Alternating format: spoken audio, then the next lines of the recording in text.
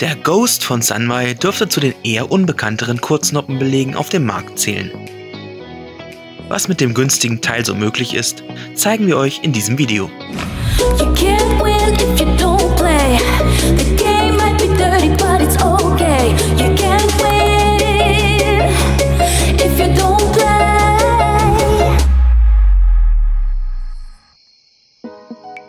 Der gerade einmal 17 Euro teure Sunby Ghost kommt vakuumverpackt in Folie eingeschweißt daher. Ein Indiz für den eingebauten Frischklebeffekt. Optisch präsentiert sich der Ghost nach dem Auspacken mit seinen kurzen, geraden und geriffelten Noppen. Unten drunter klebt ein mit Frischklebeeffekt versehener, feinporiger, orangefarbener Schwamm. Zusammen bringt das Gummi ungeschnitten etwa 39 Gramm auf die Waage. Gefühlsmäßig bringt der Drucktest mediumharte Noppenköpfe und einen mittelharten Schwamm ans Tageslicht. Nach dem ersten Dots-Test würden wir die Geschwindigkeit des Ghost sicherlich im unteren Offensivbereich einordnen. Und nun ab damit an den Tisch. Der Ghost ist von Beginn an wirklich sehr gut zu beherrschen. Durch die relativ hohe Grundsicherheit im aktiven Konterspiel wirkt die Kurznoppe sehr einsteigerfreundlich und kann mit leicht angepasster Noppeninnentechnik gespielt werden.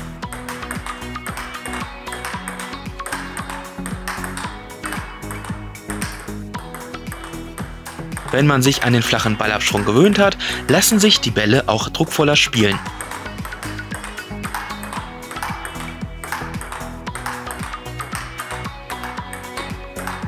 Mit ein wenig Handgelenkseinsatz bekommen die Flugkurven auch einen leichten Bogen und ordentlich Tempo.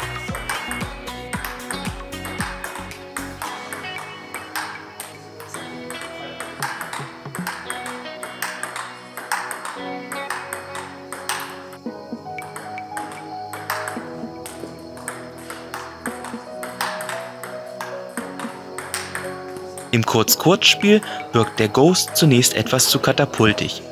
Die Bälle steigen hier relativ hoch heraus und sind dabei relativ schnittlos.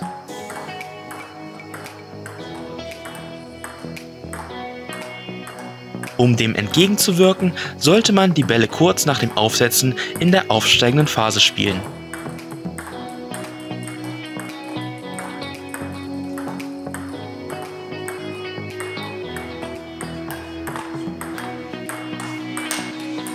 Überraschend gut spielt sich der Ghost in der Eröffnung. Wenn der Handgelenkseinsatz passt, lassen sich hier durchaus rotationsreiche Topspins spielen, auf die man anschließend mit Schüssen entsprechend nachgehen kann.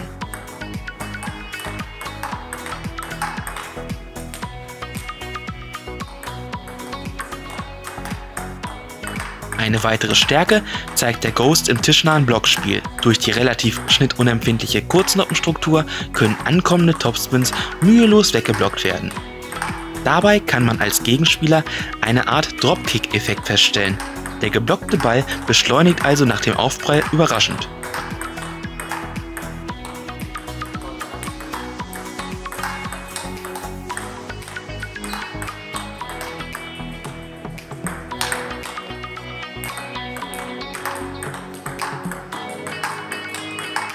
Zwar bietet der Ghost auch im passiven Spiel sehr viel Kontrolle, erzeugt dort aber keinen nennenswerten Störeffekt. Gleiches Verhalten zeigt der Ghost auch beim Bringen aus der Halbdistanz. Dies führt zwar zu relativ langen Ballwechseln, stellt aber den Gegner vor keine allzu großen Probleme.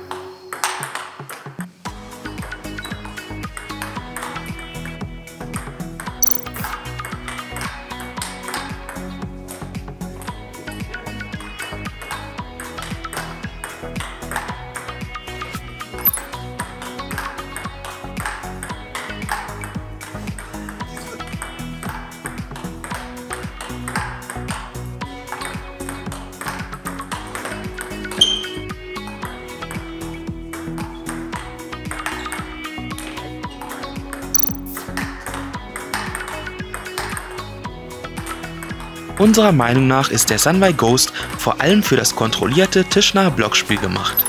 Bietet darüber hinaus zudem ein einsteigerfreundliches Erlebnis für Kurznoppenanfänger bzw. Umsteiger. Wer also überlegt, auf Kurznoppe umzusteigen, der sollte den Ghost, nicht zuletzt aufgrund des niedrigen Preises, auf jeden Fall mal ausprobieren.